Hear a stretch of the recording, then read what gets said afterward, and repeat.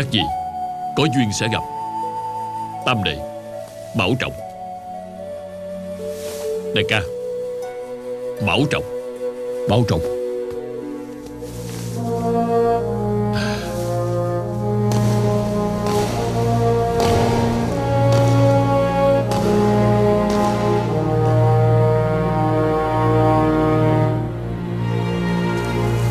Tham kiến quan tướng quân. Mở cửa ra Dân rồi đại ca Quỳnh tới cứu ta hả? Xin lỗi Ta không làm được. Tại sao? Vì ta phải rời khỏi phủ tướng quân Và giáp quy điền. Tới đây nói lời tạm biệt Vậy tức là ngươi. sao? Họ đã quyết định Phải xử tử Không ngươi. được Ông nhất định phải cứu ta. Ông ngay cả ân nhân cũng bỏ mặt. Ông có phải là người không? Ông đúng là con bà súc vật mà quan vũ tạ tội Xin lại ba lại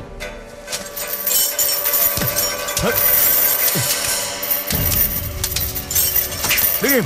Người muốn giết ta Ta không có điều gì để nói. Xem như ân tình quan vũ đã nợ Trả hết cho ngươi. Mở xiềng chân ra. Nếu không quan vũ sẽ chết. Tránh ra tránh ra. Đừng qua đây. Nếu không ta giết hắn đó. Hình tươi Tức thả quan vũ ra. Nếu, nếu người muốn nhị đệ của người giữ được mạng Thì mau chuẩn bị cho ta làm nữa gì để ta. Cho dù ngươi có giết ta Ngươi cũng chạy không thoát. Hình tuyên Không được làm mưa Chuyện gì cũng có thể thương lượng. Chuẩn bị ngựa. Thì chuẩn bị ngựa. Chuẩn bị ngựa rồi Ngươi hãy bỏ dao xuống trước đi. Đừng không Ngươi quen biết quan vũ bao nhiêu năm nay. Quan vũ này không bao giờ bị người ta uy hiếp đâu.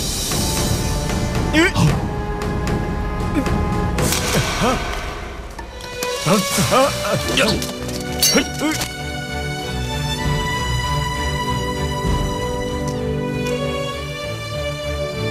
Nhị đệ Đệ không bị thương thì tốt rồi. Ta tạ đại ca quan tâm. Dân trường không có chuyện gì cả. Nhưng điều khó hiểu là Không hiểu sao cây dao đó lại đột nhiên bị gãy. Quan tướng quân lần này đại nạn không chết. Cũng là nhờ có con dao đó. Sự việc lần này có thể kết thúc an toàn Là nhờ có gia các quân sư. Lúc nãy đã nhìn thấy đại ca Và các quân sư và dân tính đệ liếc qua liếc lại. Như vậy là mưu tính từ trước rồi. Đúng vậy Mọi thứ đều là bố cục của gia các quân sư.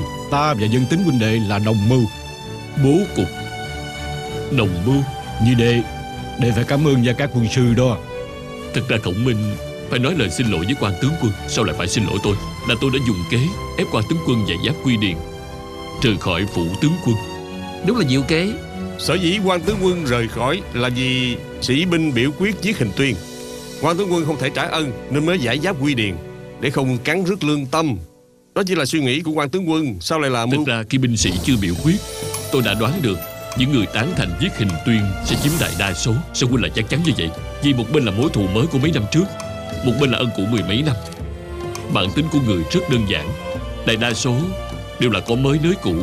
Nên sau khi biểu quyết Người nhớ thù mới Sẽ có nhiều hơn người nhớ ân cũ. Nhưng quân sư sao ông lại dự đoán được quan tướng quân sẽ tới tìm hình tuyên?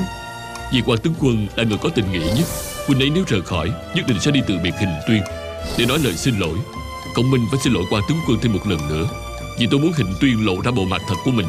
Khiến tướng quân rơi vào hiểm cảnh Ngay cả hình tuyên uy hiếp quan tướng quân Ông cũng dự đoán được à? Đây có phải là những lời sau khi xảy ra mới nói Không? Đâu. Gia các quân sư đã nói với ta từ đầu rồi. Đúng là như vậy. Hình tuyên đường đường là đại tướng quân của Tào Tháo. Sau khi hắn ta bị bắt Đã che giấu thân phận là một hàng binh.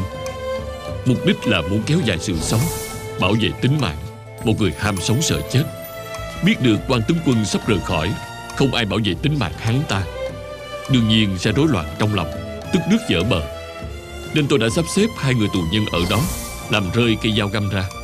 Như vậy hình tuyên Sẽ có thể uy hiếp quan tướng quân tẩu thoát. Dao găm không có mắt Ông bỏ mặt an nguy của quan tướng quân sao? Đương nhiên là không bỏ mặt rồi.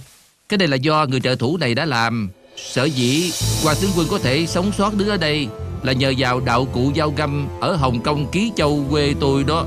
Cây dao găm đạo cụ này Bề ngoài giống y như thật nhưng mà chỉ cần dùng sức sẽ bị gãy làm đôi, Nhìn được nhưng không xài được. Nhân tính huynh đệ, Xin đa tạ. Quan trọng nhất là quan tướng quân nhìn rõ bộ mặt thật của hình tuyên. Lúc hình tuyên đâm vào người quan tướng quân, Ân tình mà quan tướng quân nợ hắn đã trả hết rồi. Không còn nợ gì cả. Đã giấu quan tướng quân chuyện này. Khổng Minh xin lỗi quan tướng quân lần thứ ba. Quân sư không cần xin lỗi. Dân trường không biết phải cảm tạ quân sư như thế nào.